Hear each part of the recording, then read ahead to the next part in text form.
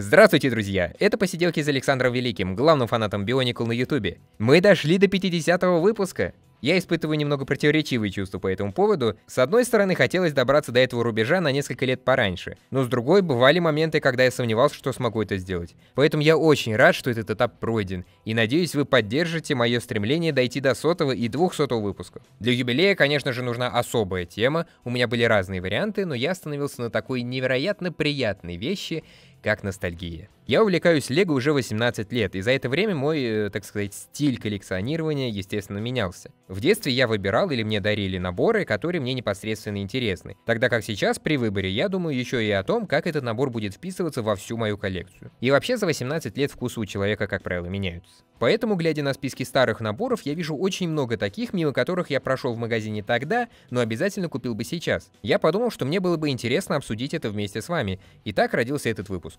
Вы уже сейчас можете написать в комментариях, какие наборы пропустили сами.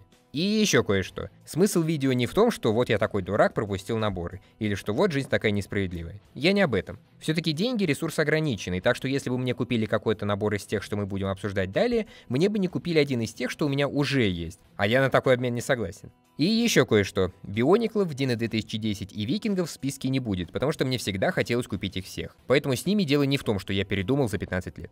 Что ж, перенесемся во времена, когда в Лего чувствовалось больше фантазии, когда не было шрингфляции, из-за которой сейчас нельзя делать большие наборы, а биониклы и не думали заканчиваться. Отправной точкой будет 2003 год, потому что я начал увлечение в 2004, и некоторые прошлогодние наборы еще можно было достать. А закончу 2009, потому что тогда стал активнее покупать систем наборы после приобретения экскаватора с клешнями из горняков-проходчиков. Если видео станет популярным, обязательно сделаю продолжение про более поздние годы. Так что досматривайте до конца, ставьте лайки, комментируйте и присылайте видео друзьям.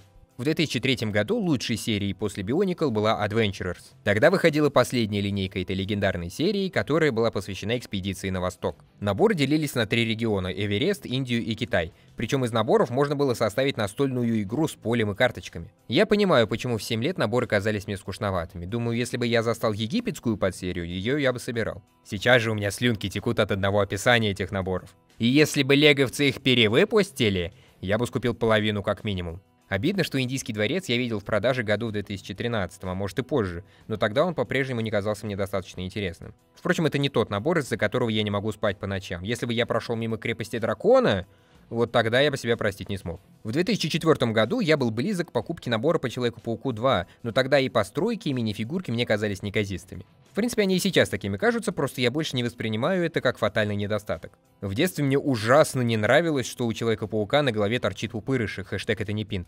Если бы леговцы сделали ему круглую голову, как в версии 4+, какой-нибудь набор я бы взял. Мне бы очень хотелось поезд из культовой сцены. Там и фигурки зачетные, и постройка классная, и даже механизм есть. Экзофорс сильно отпугнул меня мини-фигурками, потому что я не люблю стилистику аниме. Что странно, учитывая один из моих любимых мультсериалов «Приключения Джеки Чана», который я в те годы на СТС никогда не пропускал.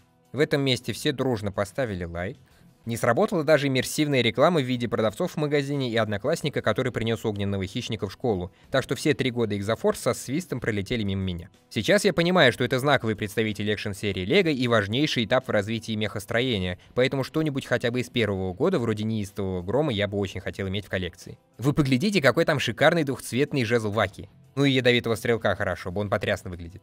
Если Exoforce в 2006 году началась, то Knights Kingdom закончилась. Серия интересна тем, что вслед за Звездными войнами и перед Биониклами перемешку выпускала обычные наборы и конструируемые фигурки, причем это были конструируемые фигурки на базе системы, а не техника.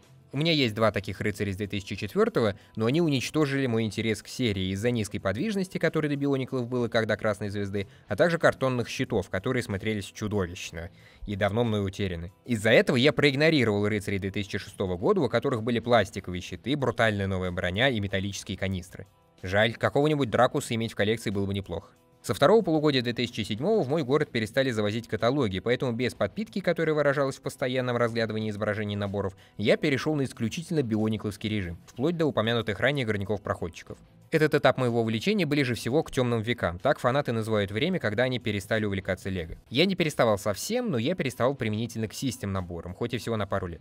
Итак, главной жертвой моей потери интереса была эра фэнтези, замок 2007-2009 годов. Это одна из лучших серий в истории Лего и лучшая подсерия замка, которую уже году в 2010 я был бы рад скупить почти полностью, но в продаже ее к тому времени не было. Леговцы, у вас есть золотые наборы. Половину нынешних серий можно выкинуть, чтобы вернуть эру фэнтези в неизменном виде. Также я пропустил миссию на Марс. Пожалуй, наименьшая потеря в этом видео, но один наборчик я бы хотел иметь, неважно какой. Последняя пропущенная мной серия 2007 года, если я ничего не путаю, в России официально не продавалась. Я говорю об акварайдерах, это переходные ступени между классическими акванавтами и Атлантидой. Атлантида лучше, но и в этой серии дизайнеры себя проявили. Монстров, кстати, можно было бы использовать при игре с биониклами, которые в том году тоже спустились под воду. В 2008 стартовала серия «Агенты». Фанаты Альфа Тим заметили, что ее наборов 2004-2005 в этом видео нет, зато есть ее потомок, который мне кажется интереснее. Впрочем, этот гештальт можно считать закрытым ультраагентами 2014 года, которых я недавно вспоминал в блоге в статье про вертолеты, ссылка в описании. Также в 2008 стартовала подсерия Звездных войн, посвященная войнам клонов. Мне кажется, именно тогда в Лего состоялся переход от ретро Звездных войн к современным. Я посмотрел Звездные войны, если память меня не подводит, только летом 2010 поэтому многие персонажи и техника, которых леговцы не перевыпускали, мы это еще обсудим, в моей коллекции отсутствуют. А, например, танк КНС у меня есть в версии 2020 года, но при этом версии 2009 он проигрывает. В том же 2009 году вышла третья инкарнация космической полиции. Весьма интересная экшн-серия, которая, опять же, если я правильно помню, в России была эксклюзивом детского мира. Поэтому, что логично, в городе, где не было детского мира, она не продавалась. Вообще, в 2010-м я о многих неизвестных мне наборах узнал. Взять хотя бы модульники, которые я считаю своим упущением, но я и за последние 10 лет смог купить только два таких набора. Чем сожалеть об отсутствии бакалейной лавки, я гораздо больше рад, что собрал Ракох, Джитракс и Аксалару, выпущенных в том же году. Эмоции от биониклов не сравнить ни с чем. Ссылки на предыдущие и следующие выпуски подкаста вы видите на экране. Подписывайтесь на канал, на мой паблик ВКонтакте и заходите в блог. До новых встреч, друзья, за следующие 50 выпусков.